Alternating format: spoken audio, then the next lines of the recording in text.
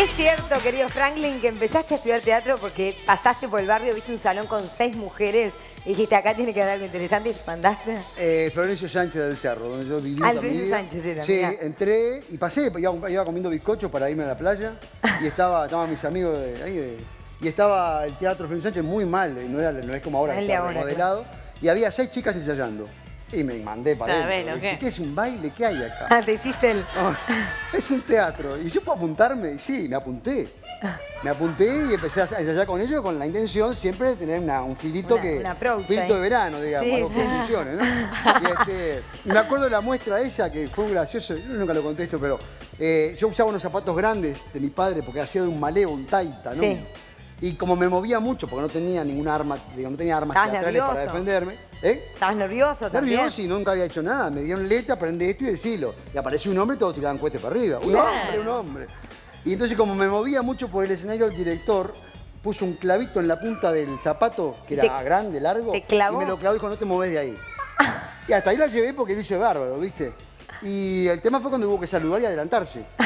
Hacia Proseño, y yo no me podía- saludaba del fondo. Así, Quedaste atrás, clavado al escenario literalmente. pero clavado, clavado al escenario y quedé clavado con una lectura de toda la vida, ¿no? Claro, pero qué grande, ¿no? Esas seis mujeres tenías que ir a agradecerles, porque mirá, Sí, eh, la carrera que. Lo que pasa es que yo después hice esa muestra, fuimos a comer unas pizzas, no sé qué, y alguien dijo, hay una escuela municipal de arte dramático. Sí, yo sí. dije, pará, si hay seis en un barrio, una ecuación más que sencilla, en, las- en las- en el centro tiene que haber 60, por No lo te- menos. No te alcanzó con seis y fuiste por las 60. Pero era por, por pispiar, era muy pispidete en esa época, no era, no eso como ahora. ¿Cómo Bien. habrás masticado en esa juventud? Bueno, Bueno, por favor, Gemma, mantenga el nivel Ya leve, arrancaste leve con un poquito. Bueno, bueno, tuve que hacer, tuve que hacer un poco de esfuerzo, porque era muy chico, no me aceptaban Ten- tanto. ¿Qué tenías, 17? 17 recién cumplidos, eran todos mayores, no me daba. Fíjate que era la generación de Andrea Davidovich, de, de Tabaré Rivero, eran co- colegas míos y yo- eh, eran todos grandes, yo era muy chico y no, no, no ligaba tanto.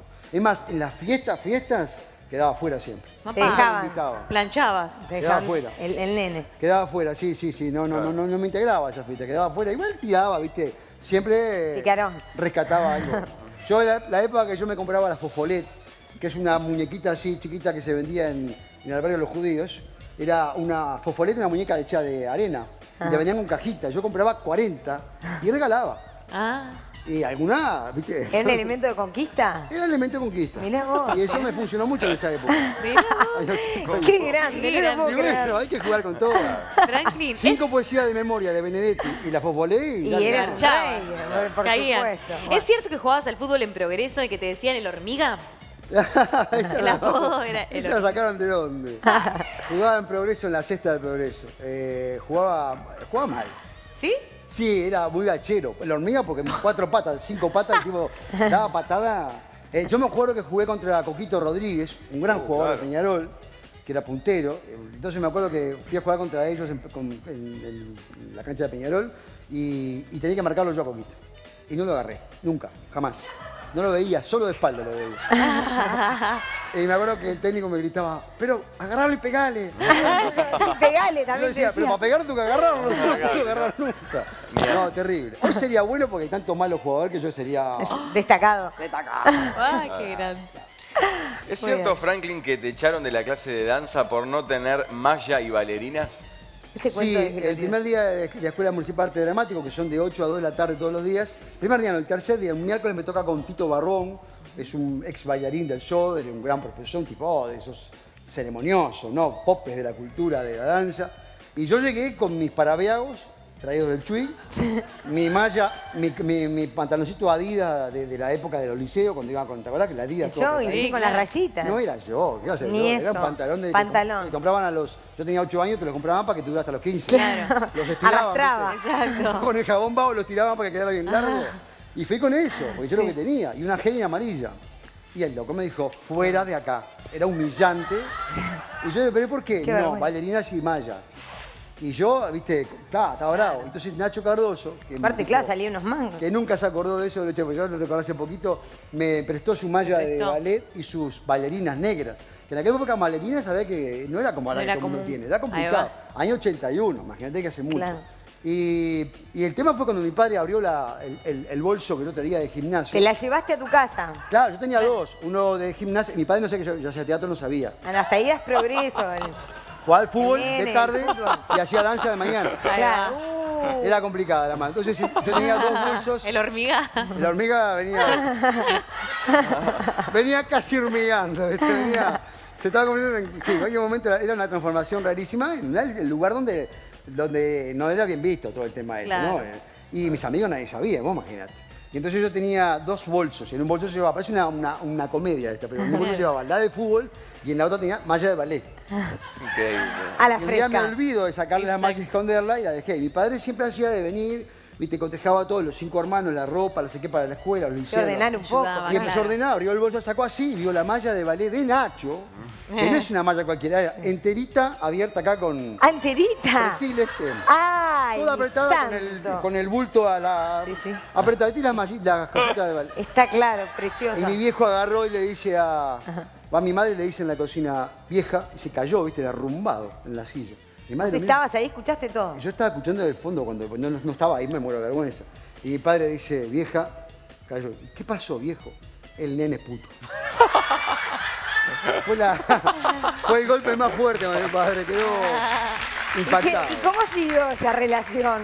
Mi padre, Andate lejos. Mi padre me dijo Porque que él me era fuera de muy, mi casa. no entendía mucho eso él, Bueno, obviamente. me, Ruptura. me fui de mi casa, me fui a vivir con un tío que estaba en, en la noche Sí. Y tenía chicas para él. Ah. Y ¿Un tío mi Fiolo tenía? Tío Fiolo, sí. Y me llevó a vivir Qué grande. Qué El sueño de, Ahí sueño de varios. Para, repartió muñequita que ni te digo. Fue el barrio de la Claro. No, pero es un tío al que le debo la profesión. Una ¿eh? mamushka. No, yo, yo sí, sí. que Porque él me regaló un libro llamado. Las Fuerzas Morales de José Ingenieros. Mirá vos, Las Fuerzas Morales. Y el tipo era un tipo que tenía dos chicas que trabajaban con él, las llevaba al Solís a ver ópera. Mirá lo que te digo. Ah, Qué maravilla. mirá. Andaba, escúchame, parecía Camagüey. Camisa blanca, saco negro, zapato, el zapato de ta- taco, pantalón ancho abajo de tela, Sí, sí. carterita acá y el bufo atrás. ¿no? Porque- Completito el tío. y el loco leía, tenía Dickens, tenía. Yo empecé a leer libros comprometidos, no en el liceo. Si vos decís sino que ahí por te mi tío formaste, personal. en la casa del tío. Y el loco me dijo, eh, esto acá no se toca. ¿Sabes por qué, no? Había tres chicas, dijo, esto acá es material de trabajo, no sé, yo no, yo no puedo tocar nada. Ah.